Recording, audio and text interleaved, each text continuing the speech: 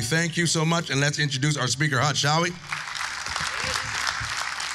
John, thanks for introducing us this morning. If you have a Bible, find your way over to Exodus chapter 13.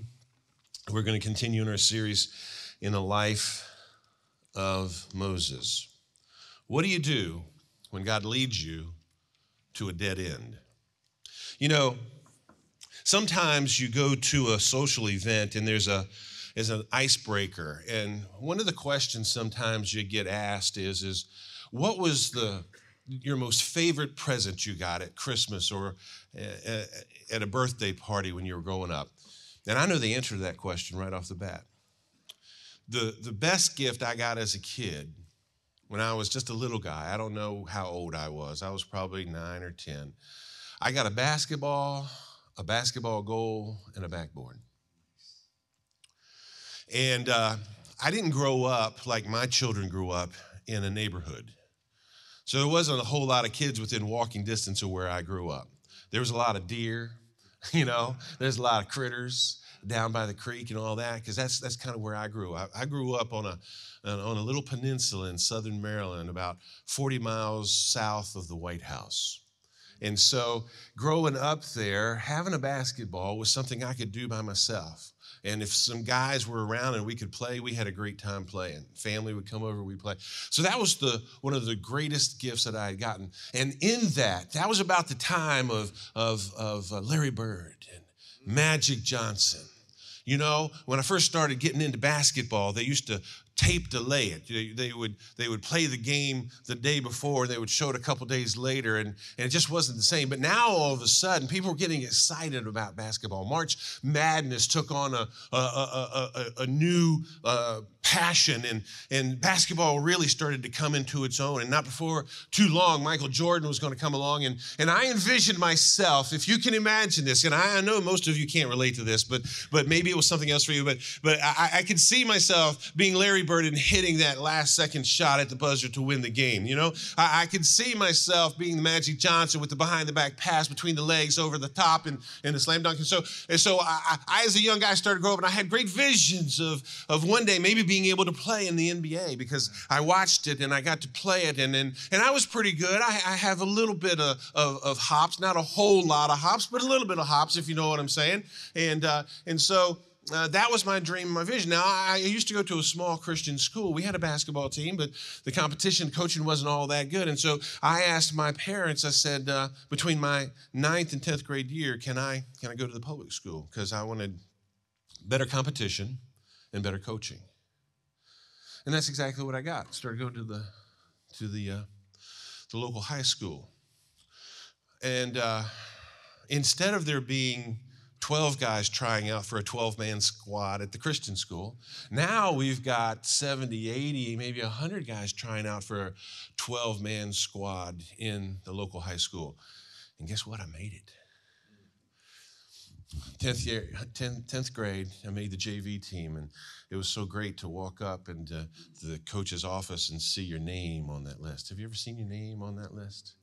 and you're thinking to yourself, your dreams and your aspirations of the NBA have just taken their first huge step forward. JV, small county public school. And so the tryouts were great because, man, we just played basketball. We just played and we played and we played and we played and they observed. And then when you made that list of 12 and you went to the very first practice, they pulled the sheet out from under you. Because you know what they did? They had the audacity to not even bring a basketball to basketball practice, that first practice. You want to know why they didn't bring a basketball to basketball practice, that first basketball practice?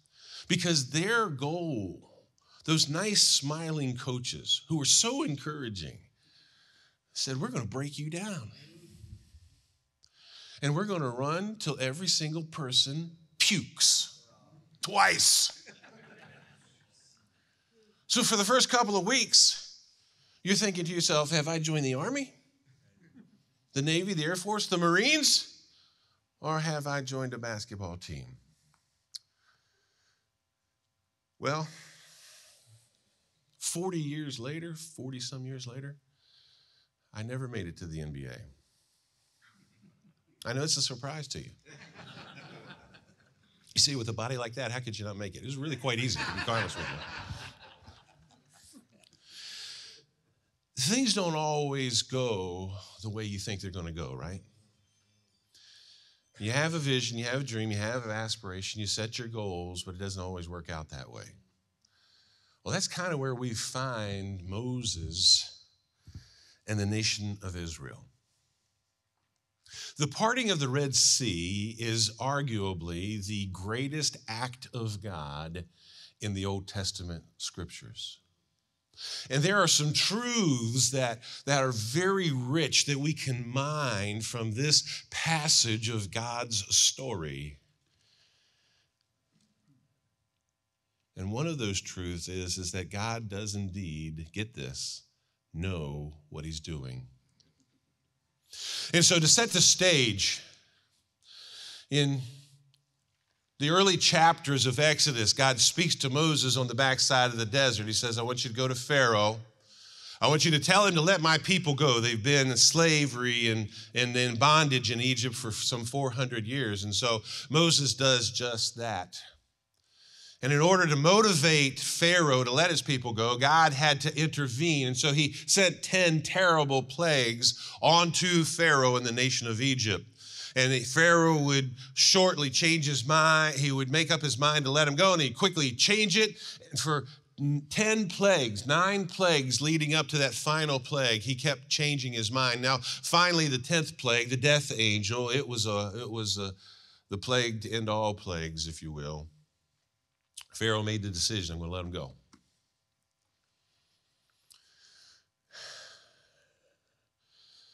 And so the nation of Israel packs their bags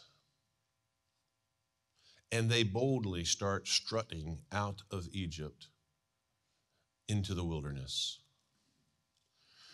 They're heading towards the promised land.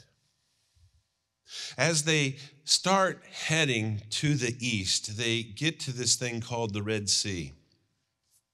I don't know how long of a journey it was to the Red Sea. It was probably a couple of days' journey. We're, we're talking to maybe as many as 3 million people. This is not you packing your two kids in the back of your SUV and driving to Disney World. There's a lot that goes into that, right?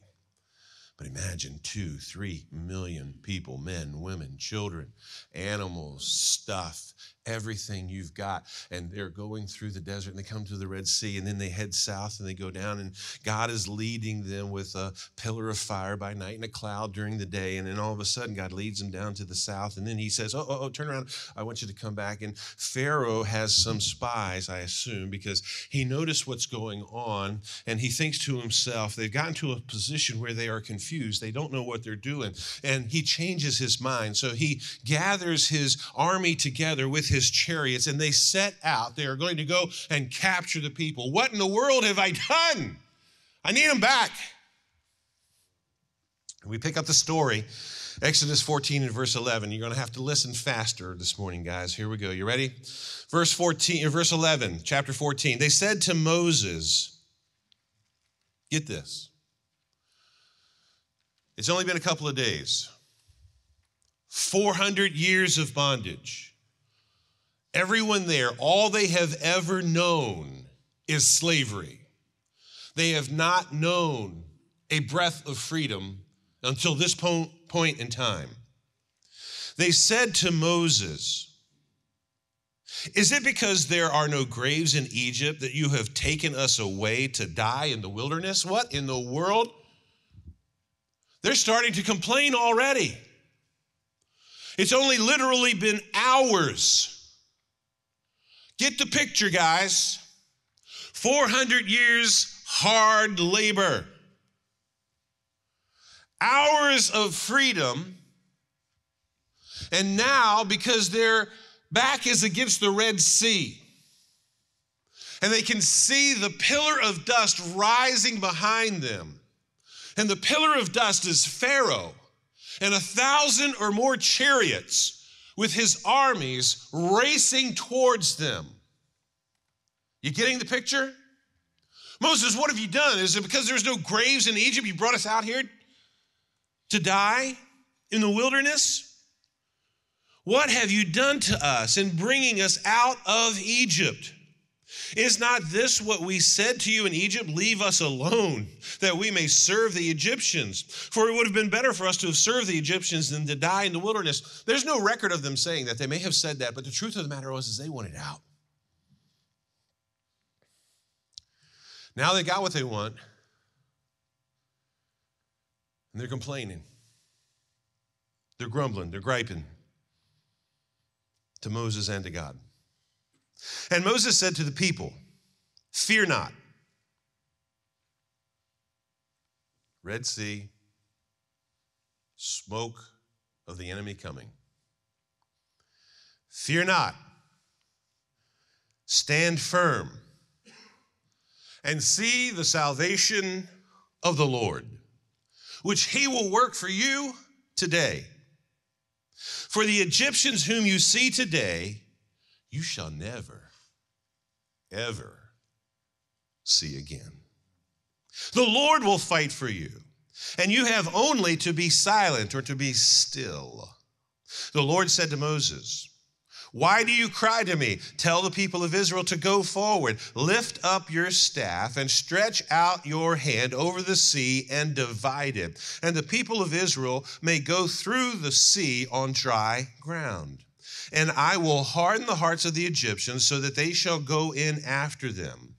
And I will get glory over Pharaoh and all of his hosts, his chariots, and his horsemen. And the Egyptians shall know that I am the Lord when I have gotten glory over Pharaoh, his chariots, and his horsemen. And at this point, God does three miracles for the Israelites. Miracle number one is this God moved the pillar of cloud that he was leading them with in front of them. He moved it to behind them to create a visible barrier between Pharaoh and the Egyptian armies and the Israelites. Verse 19. Then the angel of God, who was going before the host of Israel, moved and went behind them. And the pillar of cloud moved from before them and stood behind them, coming between the hosts of Egypt and the host of Israel. And there was the cloud and the darkness, and it lit up the night without one coming near the other all night long. Miracle number two God parted the Red Sea. There was no way out. The geography of the land was there was these huge, massive uh, objects to the north. There was a wilderness wandering to the south, and if they had gotten out into the wilderness, they would have been hunted like, like deer. They would have been picked off by Pharaoh and his chariots and his armies. But then God performed a third miracle this day.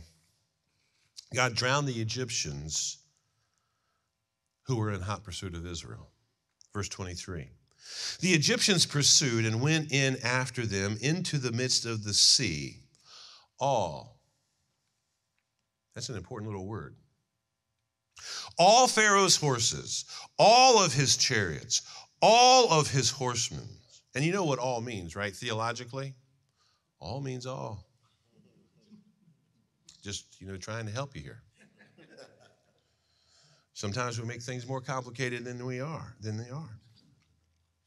And in the morning watch, the Lord in the pillar of fire and cloud looked down on the Egyptian forces and threw the Egyptian forces into a panic, clogging their chariot wheels so that they drove heavily. And the Egyptians said, Let us flee from before Israel, for the Lord fights for them against the Egyptians. Then the Lord said to Moses, Stretch out your hand over the sea, that the water may come back upon the Egyptians, upon their chariots, and upon their horsemen. So Moses stretched out his hand over the sea and the sea returned to its normal course when the morning appeared.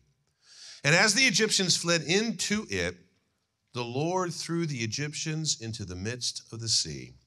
The waters returned and covered the chariots and the horsemen and all the host of Pharaoh that had followed them into the sea. Not one of them remained.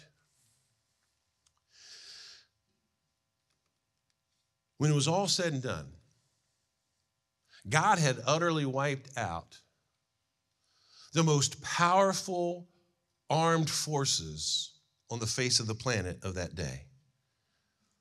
All that was left were Egyptian army soldiers and horses strewn on the shoreline of the Red Sea. That sounds like a spectacular story. And maybe you're saying to yourself this morning, Hutch, come on. Do you really believe that that took place that day? Just like you read there in Exodus chapter 14? And to you, I would say, yes, I do. I believe it happened exactly like that. Moses was an eyewitness, by the way, and he's the one that wrote this down. Now, there are a lot of skeptics today who want to postulate a, a, human rationale or an explanation of, of how this uh, really couldn't have, have happened this way. It had to be responsible. The moon was responsible, or the, the sun was responsible, or, or something like that. But there is no human explanation for it, no rational way to explain it away. For all of us who know God in a real and personal way, we are hidden behind the blood covering of the Lord Jesus that He made available for us on the cross of Calvary. We talked about that last time in our study, if you'll remember correctly. For all of us who hide behind that blood covering, it's really no surprise that God would would work in such a supernatural way. Because we've seen him work in our lives in a supernatural way. Felix gave his testimony last week of how God worked in a supernatural way to not only bring him to faith in Christ, but to work in him and through him since he came to faith in Christ. That's a miracle. You and I experience miracles all the time, whether we realize it or not. So, the Bible's account of what happened here at the Red Sea is really no problem for us to believe. And that's exactly what I believe. Now, maybe you're thinking, Hutch, come on now. That's a great story from the Bible. But really, 3,500 years ago? It's 2022. What in the world does that have to do with me? Why would you take my time on a Friday morning, an hour of my life, I'm never going to get back, by the way, to tell me a story like this? I don't see the relevance. Well, you know, that's a great question, but for our remainder of our time together, I want to frame our study with a different question. And that question is this How do you think the Israelites felt when their back was against the Red Sea? And Pharaoh and his army was barreling towards them.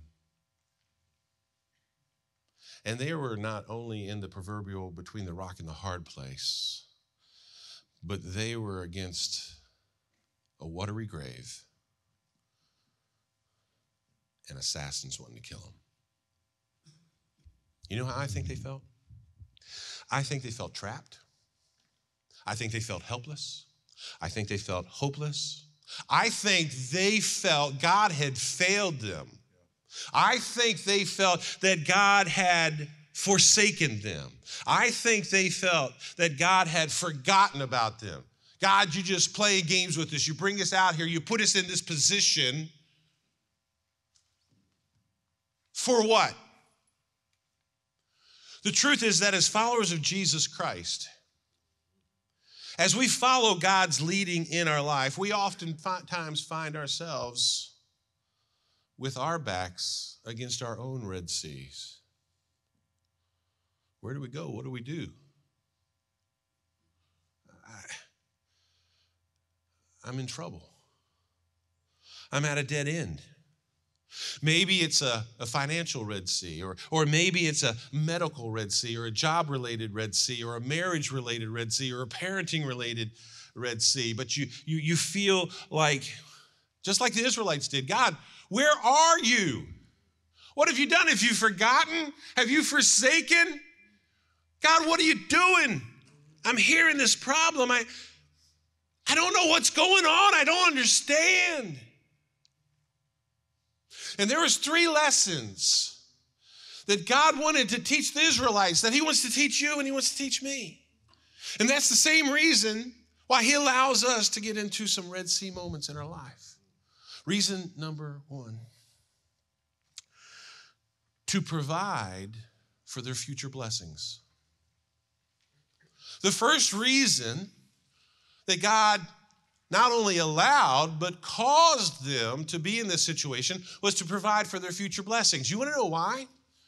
Because here's the simple truth God knew that someday down the road, Pharaoh was going to change his mind and he was going to go out and he was going to try to bring the Israelites back. He also knew that with his, his military superiority, his modern transportation, these thousand chariots he sent out, they were going to be sitting ducks in the wilderness.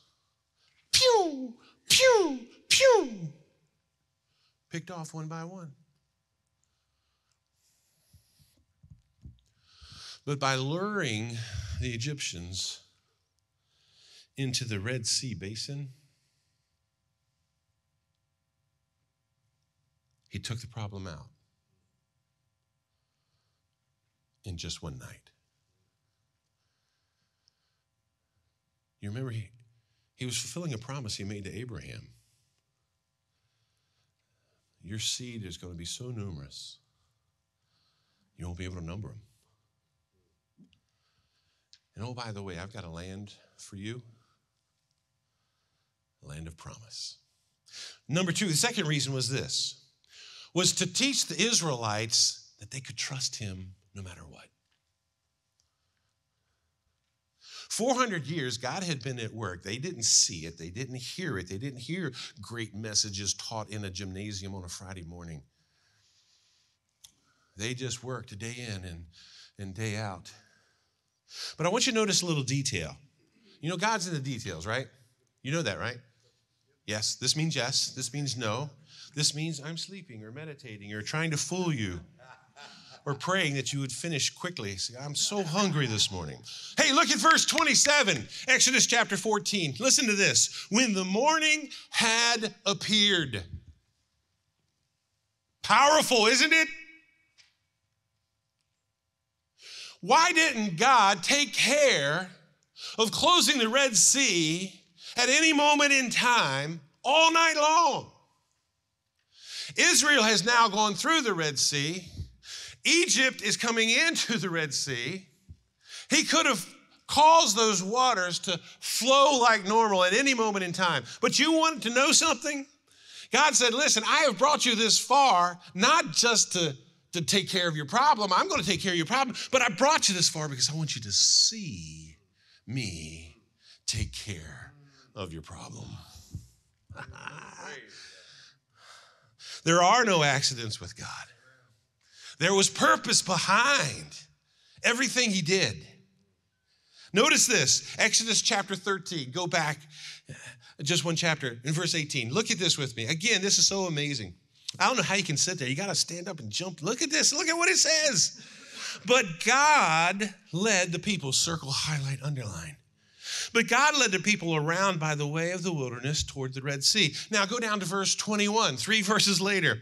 And the Lord went before them. Did you hear that? God led the way, God went before them. God led the way, God went before them. God led the way, God went before them. He was there the entire time. God wanted the Israelites to see him intervene on their behalf so that they would learn you can trust me. You can trust me. You can trust me in any circumstance, in any situation, whether your back is against the wall or whether you're swimming in the pool, whether you're on vacation or at work, whether you're at church, whether you're at home, wherever you are, I can take care of you. It's been said we don't realize that God is all we need until all we have is God. Verse 29, let's go, keep on going. Man, it just gets better and better and better. It's kind of like eating breakfast, it just gets better and better and better. But the people of Israel walked on dry ground through the Red Sea. Ooh, ah, man, right there. You know, I told you about where I grew up. I grew up on a peninsula between the Chesapeake Bay and the Patuxent River. My mom and dad owned some land on the on the river, and so we used to go over there and spend a lot of weekends there, and family was there and visit. And you know what? As the tide would come in, it would come up, and we would watch that. as an amazing thing. And then the tide would go out, and you know, every time the tide went out, there was an awful smell. Have you ever smelled swamp? Mm, man, just stays with you.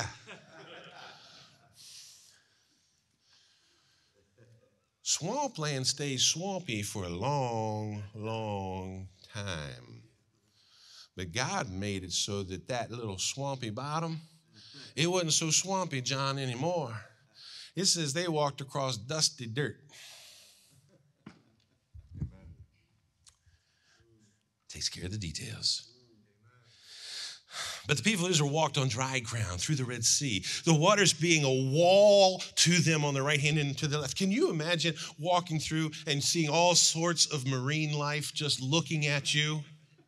I don't know what kind of marine life was there, but you're thinking to yourself, I should have brought a pole and a hook because I can see is right there.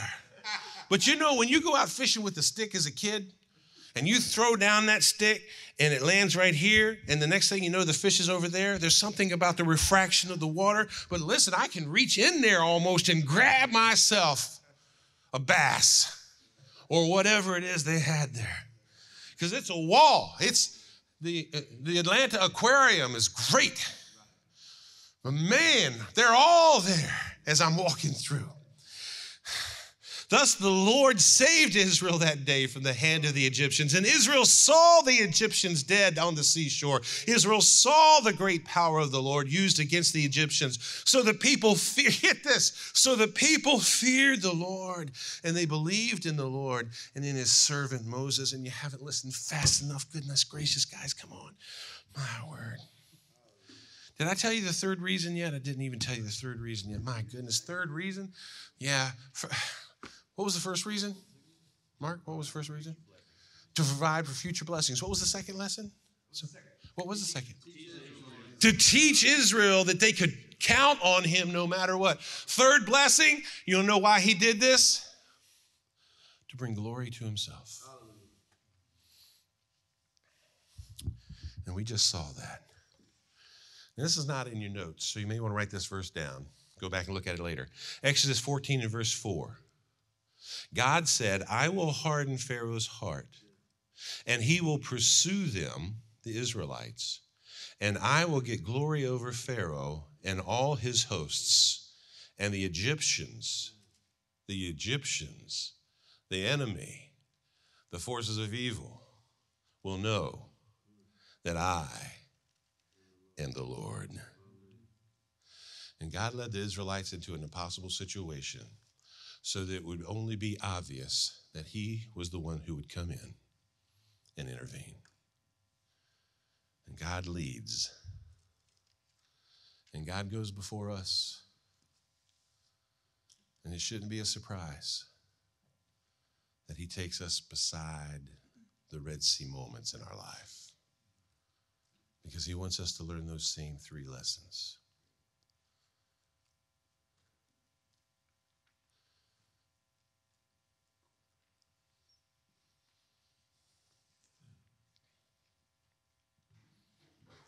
Exodus 18:1. Jethro, Moses' father-in-law, the priest of Midian, heard of all that God had done for Moses and for Israel, his people, how the Lord had brought them out of Egypt. There was no Fox News, CNN, headline news.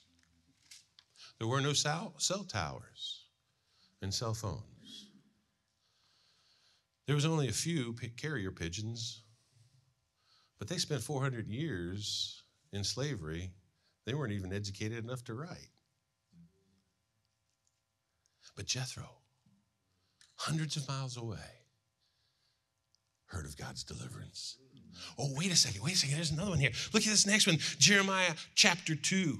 Oh, man. Rahab, you remember her? How would you like to go down into history as Rahab the harlot? I mean, uh, the worst day of your life. That's how you remembered. How are you going to approach Rahab when you get to heaven? And she introduces herself. Oh, I know who you are. You are Rahab the. Yeah, yeah, that's me. All right? Well, look at this. Verse 9. This is Rahab. She's talking to two spies. Remember, 12 spies went out? And, and so the spies are here. And, and, notice what it says here I know that the Lord has given you the land. It's already a done deal. And that the fear of you has fallen upon us, all of my people, and that all of the inhabitants of the land melt before you. For we have heard how the Lord dried up the waters of the Red Sea before you when you came out of Egypt. And as soon as we we heard it, our hearts melted. Then there was no spirit left in any man because of you. For the Lord your God, He is the God of heavens above and the earth beneath. And get this 3,500 years later, every time somebody watches the movie The Ten Commandments, God still gets the glory.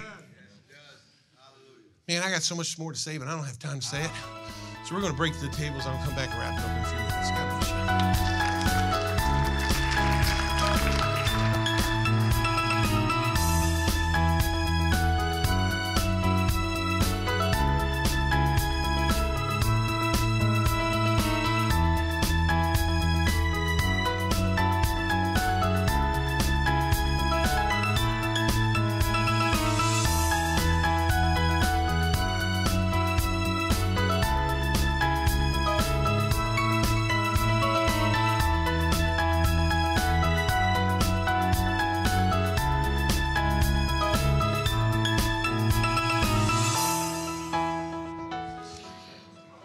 Right, guys, let's zero in and land the plane.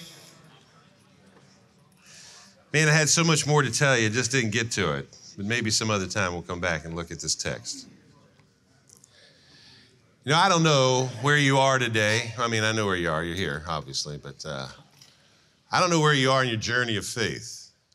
Because you may be here today, or you may be watching us online, and, and your back is against the Red Sea right now. And you may be there, number one, because God's got something better for you in the future. And He's preparing the situation, the scenario, or He's preparing you. Maybe, uh, maybe He wants to eliminate some enemy that you would face. Uh, maybe. Um, maybe there's a blessing out there that hasn't fully come together yet, that he's going to take a little bit more time to put all the pieces of the puzzle together. Maybe, maybe he's doing some surgery in your life, some self destructive habit that is keeping you from experiencing God's best, and he's just carving it away. Or, or maybe you're at your Red Sea moment today because God wants to teach you at an even deeper level to understand that you can trust Him. No matter what you're facing. My goodness, when we look at the news, we see the craziness that's going on in our world. And then we flip over in our Bibles to Ezekiel and Daniel and Revelation. Oh, that's right. It's going to be a mess before he splits the eastern sky and makes all things right. It's going to wax worse and worse. Or maybe maybe the Red Sea in your life is just so that God could intervene and get glory for himself so that your neighbors, your coworkers, your far from God family members, man, what he said, he lived. It's real. So, our challenge today is to realize this. Number one, God knows what he's doing. Number two, the challenge for us to, to realize is that we can trust God no matter what we are going through, what we're facing, or what's facing us. And number three, we must decide we're not going to doubt God, period. We're not going to mumble. We're not going to grumble. We're not going to gripe. We're not going to complain. I didn't have time to go into it. But it says that when Israel walked out of Egypt, they walked out with a little bit of pep in their step. They walked out with boldness. They may have been strutting, you know. Got this. See you later, alligator. But just hours later, Moses, what are you doing? You bring us out here to kill us? You know, it's the amazing thing. We're studying life of Moses because there's so much in there. We're not going to be able to study all of this. But there was moments where God, where God wanted to destroy the Israelites, and Moses said, "Whoa, God, whoa, God, oh, please, please, please." And then there was other moments when when Moses prayed to God, "God, destroy these stinking people." But aren't you glad Moses and God didn't have a bad day on the same day?